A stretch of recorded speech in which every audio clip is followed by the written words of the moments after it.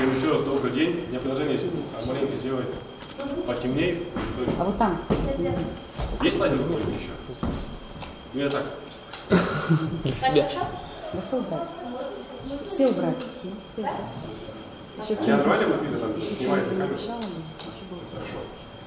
Еще раз добрый день.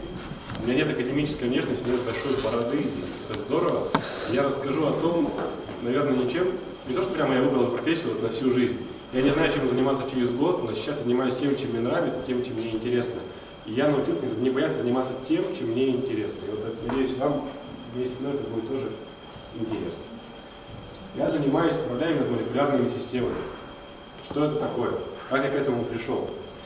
И зачем я к этому пришел? Пришел это совершенно случайно. Начинал я так же, как и вы, школьником, писал рефераты в университете, пришел на кафедру. И постепенно так получилось, что занимаясь разными направлениями, я как-то не гнушался чего-то новенького. И постепенно у меня сформировались разные области интересов, которые потом наконец пересеклись в одно общее направление. Я вас немножечко по этим направлениям проведу. Первое, что у нас появилось интересно в моей лаборатории, это гигантский полиоксамолибдат. Соединения эти родились в Германии. Я хочу вас немножечко к этому подготовить морально, чтобы вы оценили масштаб а, интереса этой проблемы.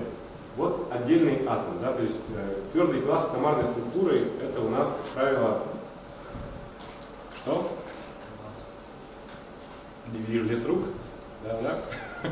Это металл, да. То есть металл имеет да, атомарную структуру, это кристаллические тела, у них э, дальний порядок, у них высокоупорядоченная э, твердая структура. Если мы пойдем дальше, поговорим об оксидах, у них э, координация кислорода, это красненьким обозначен, да, вокруг центрального атома металла, она тоже не случайно, она имеет некую пространственную да, конфигурацию, тоже высокоупорядочена. Мы знаем, если возьмем просто оксид какой-нибудь и в воду поместим, он в жизни не растворится.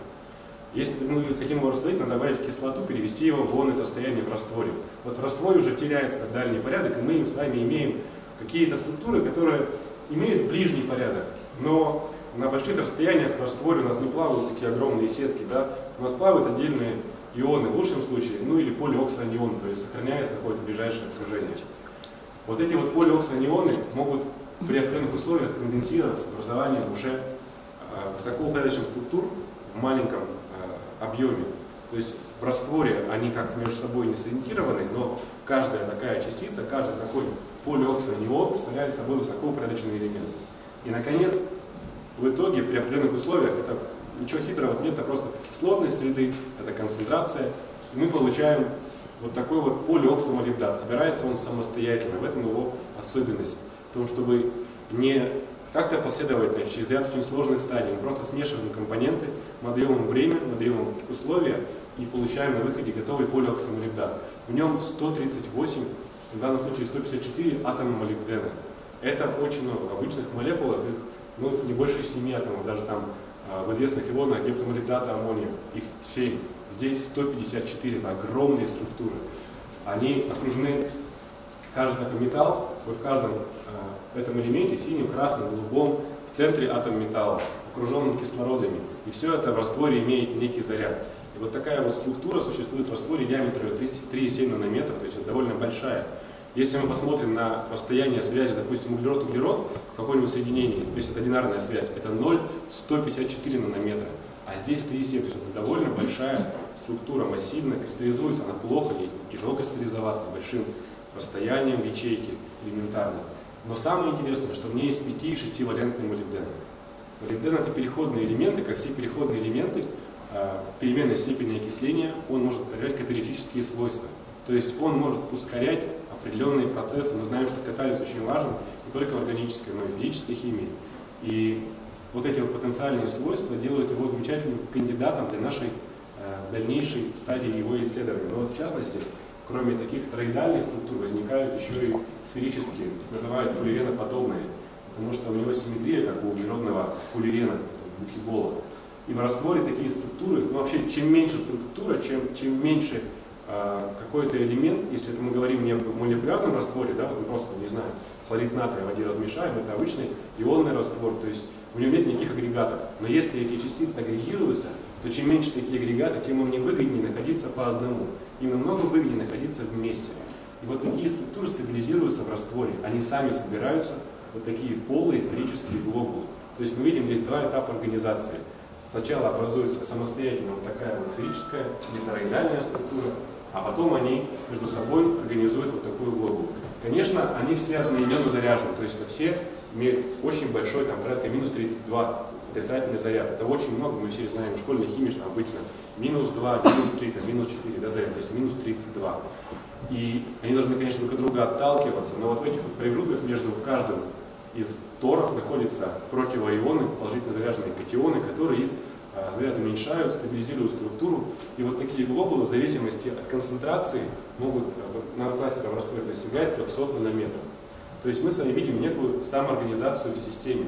Нам не нужно ее искусственно а, как бы из маленьких шагов создавать. Она создается глобально, единовременно, самостоятельно. И, наверное, в этом есть тенденция химии будущего. В том, чтобы, э, используя какие-то макромеханизмы системы, заставлять ее самостоятельно делать что-то. Не пытаться ее э, вести путем своего понимания. Нужно пытаться понять ее. Природа вам ничем не обязана.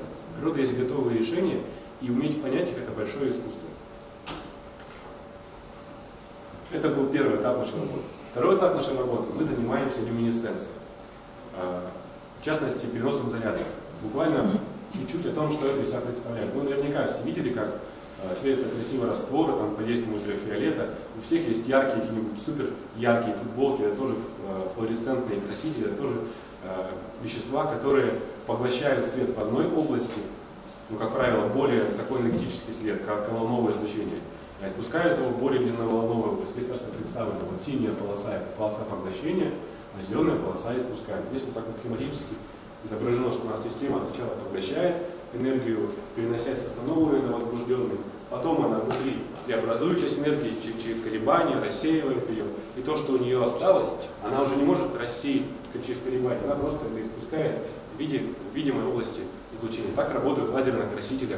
Это вообще отдельная область знаний. Вот здесь представлен как раз э, типичный краситель. Это ксантеновый краситель. Почему вообще он может люминесцировать? Главное, наверное, это то, что у него есть система двойных связей, сопряженных колец. Это одно из таких важных условий. И у него эта система жесткая. То есть они не могут как угодно колебаться. У них есть конкретная жесткая структура. Чем меньше колебаний, тем больше вероятность того, что они испустят энергию, они рассеют ее. И вот именно такое соединение мы решили использовать а, в составе нашего, а, нашей молекулярной системы. Еще мы руководствовались тем, что здесь есть положительный знак, положительный заряд на азоте, а наш нанокластер, мы помним, он отрицательно заряжен. Ну и там самое простое электростатическое взаимодействие присутствует, и на основе этого взаимодействия мы построили а, вот эту а, систему. Когда взаимодействует положительно заряженный катион с нашим нанокластером, с полиоксанионом, есть какое-то предельное количество молекул вот этого люминофора, который может сесть в наш нанокластер. Ну, элементарная математика, если заряд у него минус 20, значит максимально может сесть 20 молекул люминофора. Так, пример, здесь ничего хитрого нет. И когда вот в него садится все 20 молекул, у него заряд становится равным нулю, а это значит, э, что он становится, скажем так, если у вас сам монокластер, ну, как бы, знаешь, что такое коллоидная химия кто-нибудь из вас? Кроме посильниц. То есть э, вещества гидрофильные растворяются в воде, да гидрофобные в воде не растворяются. Если у нас есть какой-то взгляд на поверхности, это, скажем так, некоторый плюс для вещества, чтобы оно больше растворялось в воде. Вот если мы компенсируем все заряды, если это будет нейтральная частица, и при этом эта нейтральная частица будет гидрофобной, то она не будет растворяться в воде, она будет в осадок. И когда мы насыщаем вот этими молекулами люминофора всю поверхность нанокластера, у нас выпадает в осадок так называемый ионный ТЦА, ну или комплекс, его можно так условно назвать. И в чем интерес нашего исследования? Мы обнаружили, что если мы облучаем наш люминофор э, ультрафиолетом, ну то есть ультрафиолет это ниже 300 нанометров примерно, видимая область это 400 нанометров-700, 400 это фиолетовый, да, примерно там, э, красный, область, красный свет это 700 примерно нанометров. То есть мы облучаем его ультрафиолетом, ультрафиолет поглощается молекулой люминофора, после чего передается излучение нанокластера, возникает перенос энергии в системе. Именно этот перенос энергии заставляет нанокластер активировать свои каталитические свойства. До этого у него были, ну скажем так, они 50-50, ну есть и есть. А тут мы их дополнительно усиливаем, сообщая ему необходимую для этого энергию. теперь у нас уже возникает каталитическая система с переносом заряда. Это, наверное, первый такой серьезный шаг, который мы достигли. Мы, это все не просто теория, это мы уже сделали, это работает. Сейчас мы проверяем конкретные реакции, которые могут в такой системе а, происходить. То есть, где есть а, катализатор, наш нанопластер, где есть его так называемый химией промотор, тот, кто его зажигает, кто дает ему импульс для начала работы. И теперь мы ищем э, тот, ту область химии, в которой данный катализатор может работать. Недавно появилась еще одна область наших интересов, это так называемые switchable molecule. Switchable, то есть переключаемые молекулы. Переключать их можно по-разному. Есть переключаемые под действием кислотности, а есть переключаемые под действием ультрафиолета. Но вот, э, к примеру, данное соединение имеет цис-структуру, да, то есть вот обычный, то есть, извините, транс, то есть обычный трансизомер. У вас у всех когда была органика в школе, тут ничего хитрого нет. Но если мы на него посветим э, ультрафиолетом, он перейдет в цис-конформацию, то есть у нас с вами идет управляемая э, форма молекул. То есть мы светим и меняем форму. Где это может использоваться? Ну вот, например, если можно ставить огромную молекулу, э, перемещаться по цепочке, закрывать, допустим, тот или иной центр. К примеру, предположим, это у нас каталитический э, активный центр, каталитически неактивный. Мы можем закрыть каталитически активный центр, реакция не пойдет на него. А можем его открыть под действием ультрафиолета или в данном случае под действием кислотности. А также вот на основе таких простых переключений могут осуществляться самые простые элементы логики.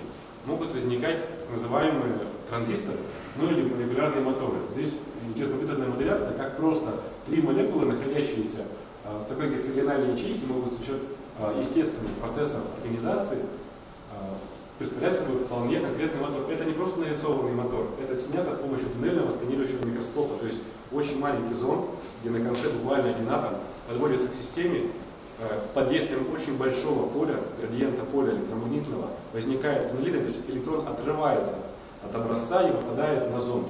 Это явление записывается, и мы с вами вот так по точкам сканируем, изображение получаем вот такую вот зависимость. Это очень, на самом деле, круто. Это не наша работа, это очень крутая работа. Это просто о том, как можно использовать переключаемые молекулы. И вот один из тоже возможных вариантов – это переключение двух молекул из проводящего состояния в непроводящее по дыркам. То есть мы с вами можем контролировать, куда пойдет отсюда энергия влево или вправо, возникает самый простой элемент логики. Или даже, возвращаясь к предыдущему слайду, представьте себе, что у вас вот снизу и сверху, у вас, например, два электрода катод и. Когда у нас молекула расправлена, есть контакт. Если она еще проводит ток, то мы с вами получаем, ну то есть у нас есть напряжение, ток проводится. Мы действуем ультрафиолетом, она изменяет свою конформацию, она уже не соединяет этого контакта, тока нет возникает самый простой элемент логики, возникает единичка и нолик. Это основа для любой компьютерной техники. Ну и вот, наконец, переходя к тому, э, для чего мы все это, стольких, э, как бы столько разных областей, казалось бы, порой независимых знаний, могут найти объединение в конкретном, э, в конкретном изобретении. То есть важно, наверное, вот сейчас уровень науки такой, что можно у одной молекулы снять кучу спектров. Можно узнать ее структуру, электронное строение.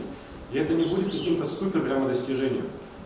Куда, наверное, важнее сейчас это научиться создавать что-то новое и объединять те свойства молекул, которые уже известны, максимально эффективно. То есть, если мы знаем, одна молекула является донором энергии, люминофор, мы объединяем ее с катализатором.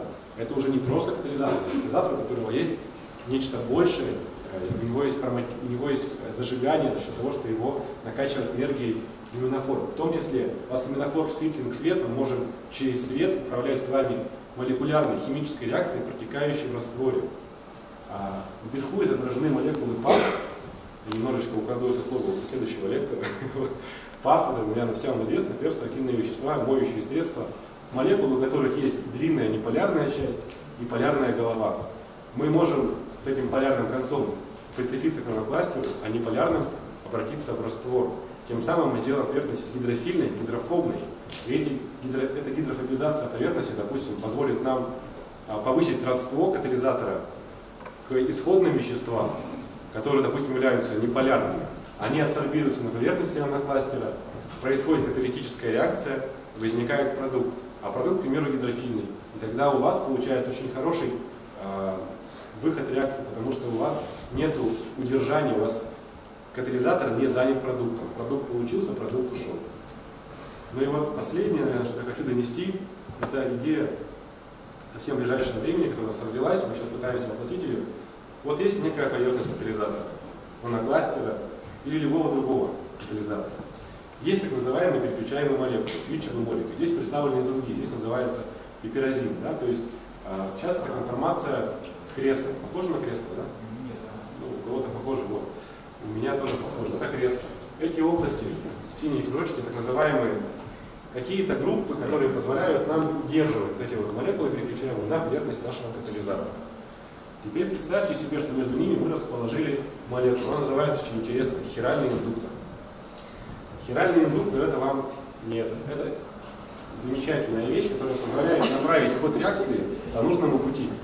То есть без него, грубо говоря, в органической какой-то реакции, где есть правовращающий, левовращающий замер, у нас их выход ну, одинаковый, 50 на 50 примерно.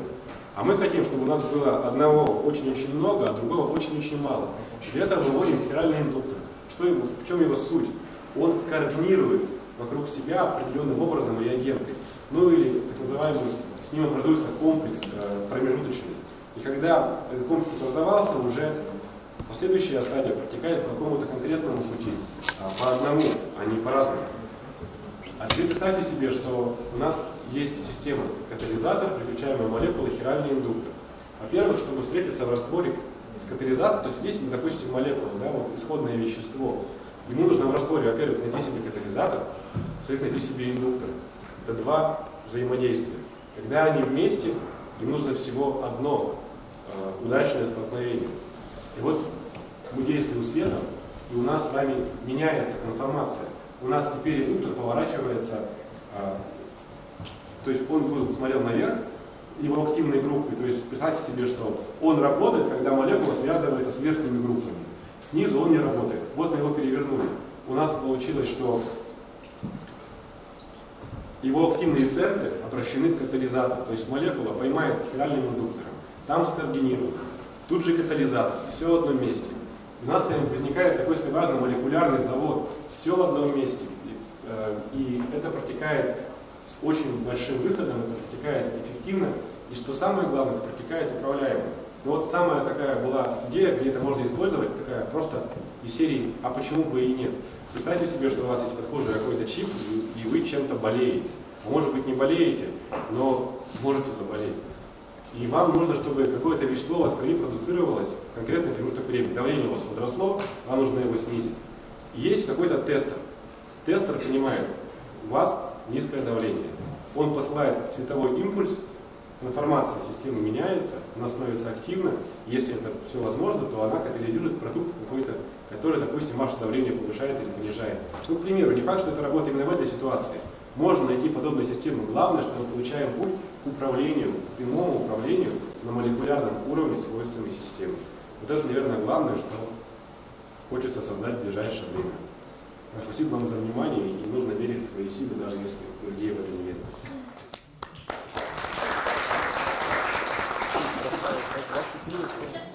возможность пообщаться а? с Кириллом и задать ему вопрос. Я там подожду. Не стесняйтесь. Любого характера. Если вам что-то осталось, то я вот, да, да.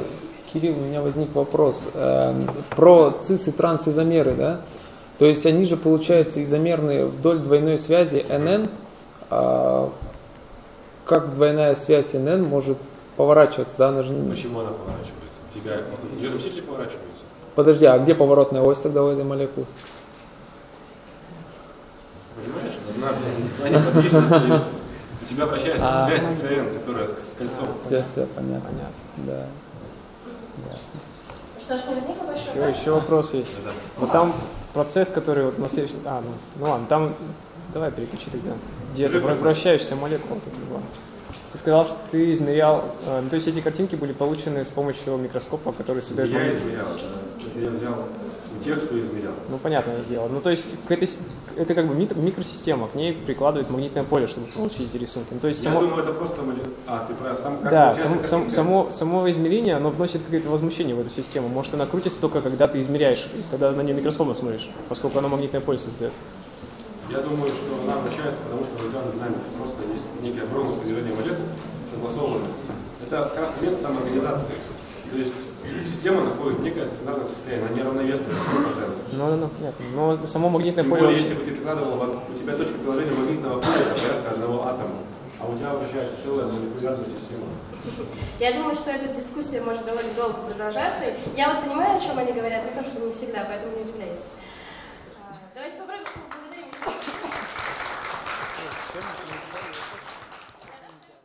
Денис Павлович является генеральным директором э, научно-производственного предприятия КАПАК. И сегодня, собственно, он с вами будет общаться как человек, который занимается химией не как наукой, а как делом, которое э, не очень хорошее слово, но обслуживает жизнь человека. Ну, пусть будет так. Э, э, Меня зовут как меня представила Анна Валерьевна. И э, несмотря на то, что предыдущие два спикера, их можно отнести к академической среде, я все-таки считаю себя практиком, э, человеком, который э, видит в химии э, науку, которая должна в первую очередь служить народному хозяйству, э, служить человеку. э, И э, именно подход к ней как к науке должен быть таким, э, ну, чтобы смотреть сразу на применение, на конечный результат, а не строить гипотезы и теории. И сегодня я расскажу про э, самый последний наш инновационный проект, который мы э, сейчас создаем. Э, и он напрямую связан э, с эмульсионной полимеризацией. Или я еще лекцию хотел назвать «От полимера до композита». Ну, то есть вот эти два названия э, можно зафиксировать в голове. Так, сначала базовые понятия, классика жанра. Э, Что такое полимер? Некое высокомолекулярное соединение, которое состоит из мономеров. Что такое мономер? Некое низкомолекулярное соединение, как правило, непредельное, а, ну, то есть которое имеет э, двойную и тройную связь. Также полимеры могут образовывать циклические соединения. И существует такой термин, как олигомер. Это некое, э, грубо можно назвать, среднемолекулярное соединение, э, которое состоит от 10 до 100 атомов. То есть выше 100 это мономер, ниже 10 это полимер. Но это весьма условно. Далее, как получается полимер? У нас есть мономер, э, который нужно синициировать, либо скатализировать. Можно использовать два этих термина. Для того, чтобы получить некий радикал, либо активный центр. Для этого мы на мономер э, воздействуем либо физическим, либо химическим методом и получаем активный центр. Начинается рост цепи, э, когда два активных центра рекомбинируют, соединяются с следующим мономером, и мы получаем как промежуточную стадию олигомер, то есть э, с углеводородной связью там, 10, 20, 30. Далее олигомеры уже рекомбинируют друг с другом и получаются полимеры. И на последней стадии, когда у нас закончился весь инициатор, либо умер последний активный центр, э, происходит обрыв цепи.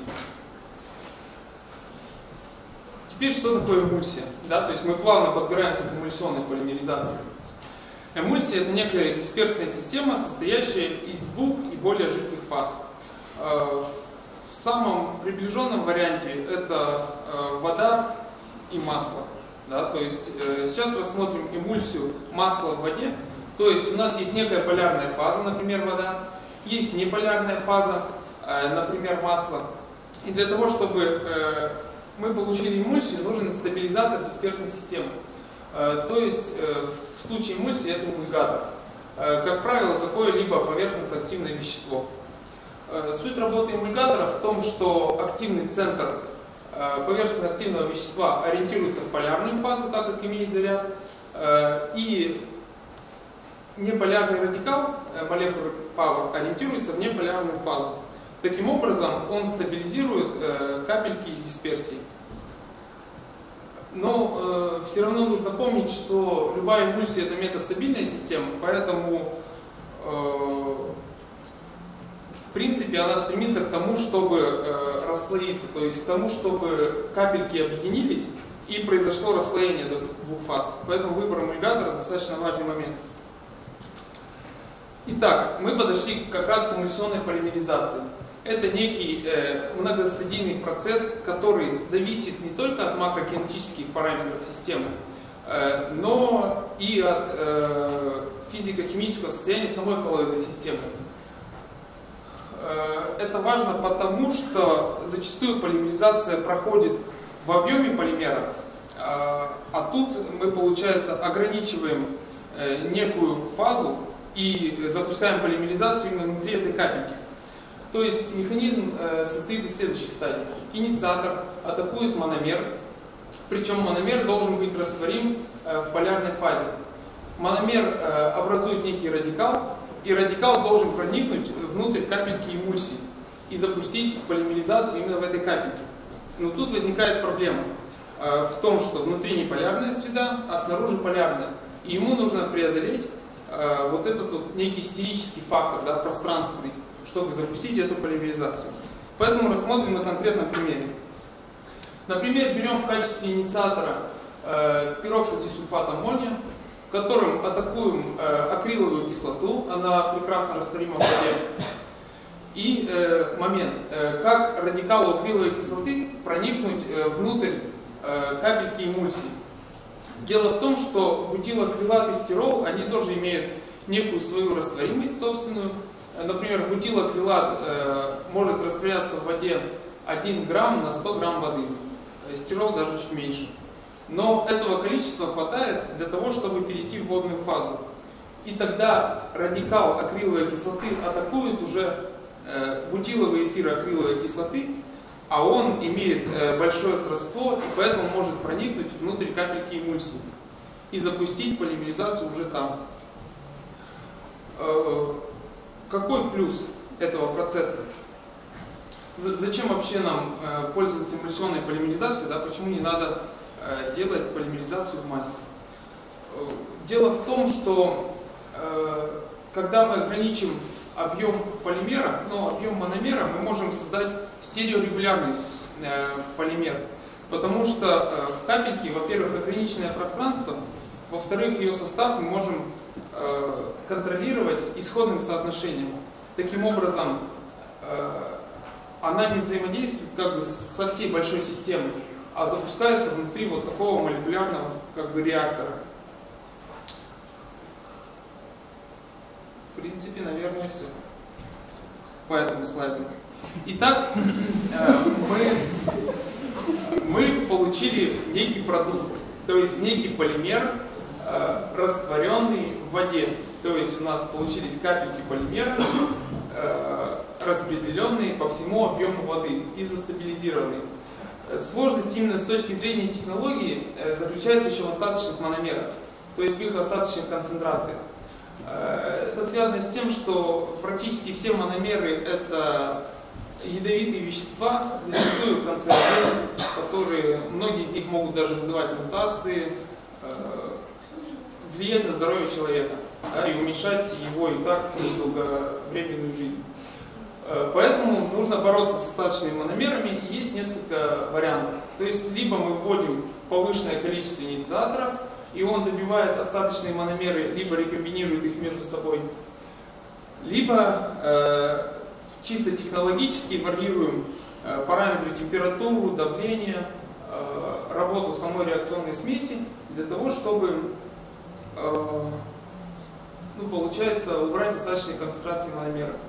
Еще одна проблема, которую могут создать мономеры, это то, что они могут создать, например, некий мостик и притянуть одну капельку дисперсии к другой и она увеличится в размерах. И тогда мы не сможем уже э, гарантировать, что у нас э, существует мономолекулярная дисперсия, да, то есть когда капельки будут существовать разного размера.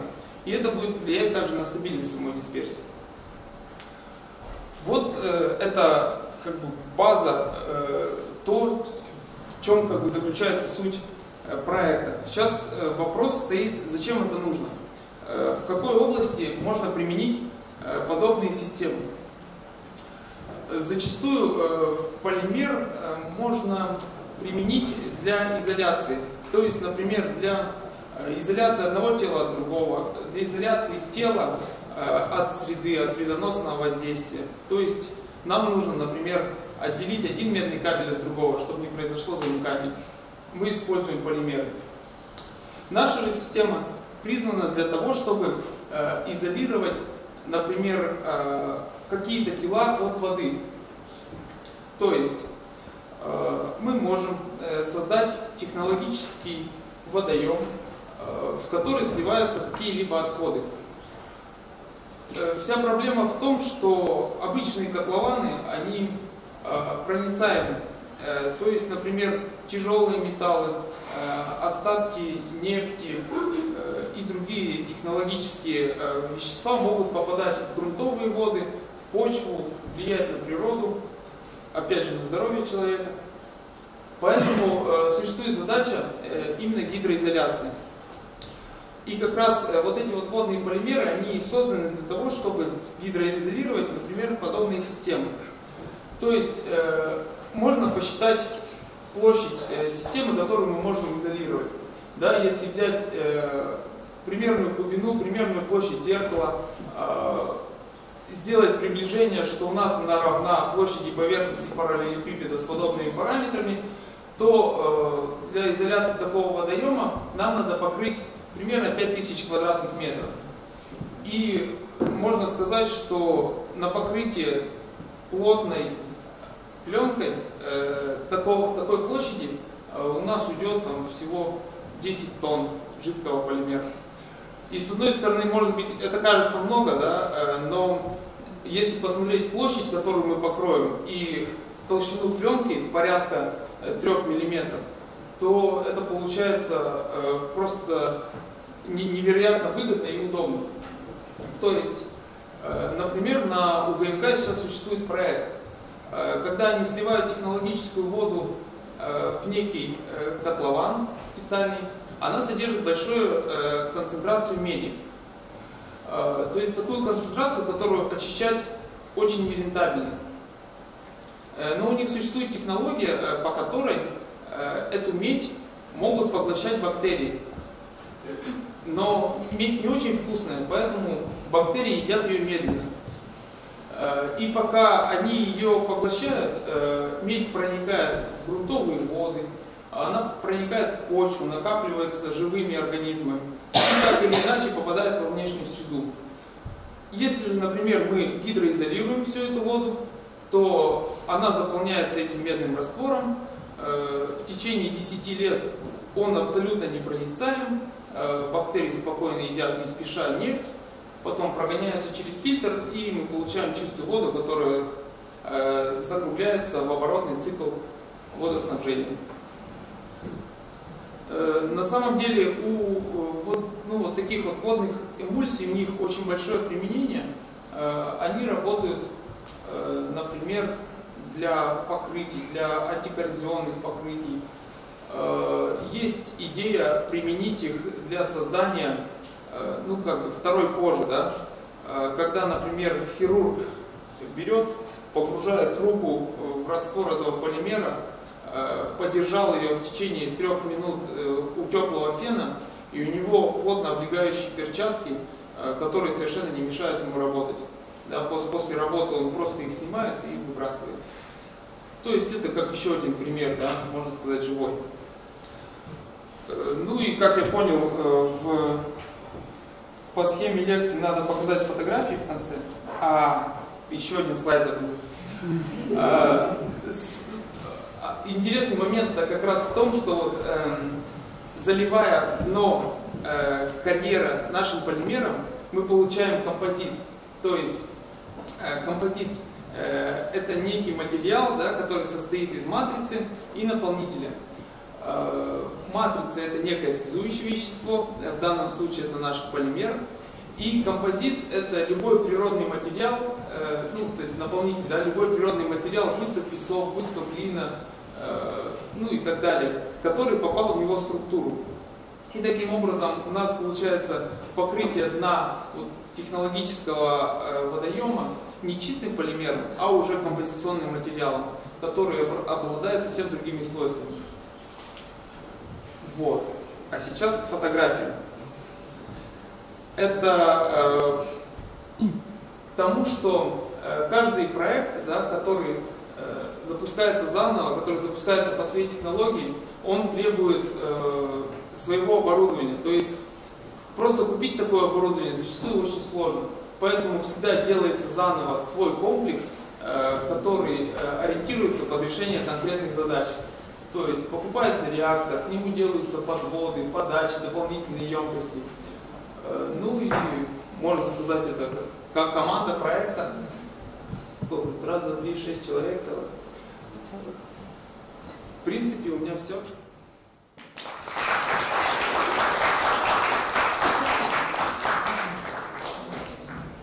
Дорогие друзья, если у вас вопросы, Денис Павлович, вы понимаете работу? Ждете новых специалистов? Ну, пока вакансий нет, но Есть по итогам турнира могут быть. Да, я хочу сказать, что и Денис Павлович, и Ольга Владимировна дали предварительное согласие э, стать членами жюри на нашем очном этапе. Так что те, кто пройдут в очный этап, вы будете спорить с этими людьми. Может быть, самое время задать им вопрос, а там лучше с ними спорить. Надо и Кирилл Валентинович обдураться. У меня вопрос, вопрос. Когда поливаете стенки водоема, он истекает, это основа. Не будет такого, что там один должен после полимера, а стеночки будут тоненькие и. А Но еще- это будет обидно, если так. То есть полимеризация, то есть если быстро полимеризуешь, то просто попадает сразу. Нет, не, в этом суть. А, полимеризация, она идет э, своим, ну, у нее есть э, строгое время, да, например, при 18 градусах температура пленкообразования, она идет определенное время. А, вот э, э, процесс текания, он контр- контролируется вязкостью. Э, Понятно, что э, данная технология, я не описал все технологические моменты, она подразумевает, что сначала э, подается раствор высокой вязкости, то есть порядка 1300 миллипаскаль на секунду.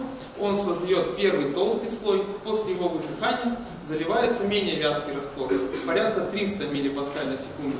Он уже затекает во все микротрещинки, во все эти, выравнивает его, вышлифовывает. И потом можно еще более жидким разбавленным раствором да, обработать уже конечную там, сплошную пленку. То есть таким образом создать идеально ровное покрытие. И тогда еще вопрос в эту сторону. Там, когда продаются такие шарики, полимер, они должны корректировать, что это образовывалось. Как разрушается искусственная эмульсия, он сам собой просто разрушается, когда полимеризация произошла. И у тебя тоже так получается. В принципе, она довольно устойчивая. Э, Она разрушается не даже не разрушается, она коалесцирует, да, объединяется, когда испаряется вода. То есть испаряется вода, капельки эмульсии объединяются между собой, потому что эмульсия становится более концентрированной. А возникающие связи между шариками, уже получается не то же самое, что полимерная ошибка, это просто реализация. А, а у них очень близкое сродство, потому что это одинаковые материалы. То есть по- поэтому они легко укрупняются, коагулируют, коалесцируют, делают все, что хотят. А Дмитрий- Да, давайте вопрос.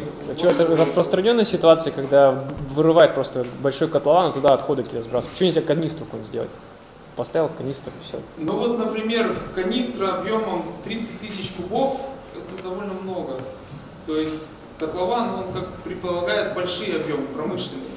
А, Даже, например, ну, я не могу сказать, но вот, например, ректификационная колонна нефтяная, да, там высокая, самая большая, которая сейчас существует, она, по-моему, всего 500 кубов, ну, 500 кубометров объема, да, а если нам надо заполнить целый водоем, то есть, например, сброс Синарского завода, сброс с УГМК, если там э, у них потребление воды и сброс сточной воды порядка 50 кубометров в час, то э, нужно создать большой водоем. Или, например, э, когда мы создаем вот для нефтяной промышленности, э, обкладывают нефтяную скважину, э, чтобы избежать разливов нефти. Да?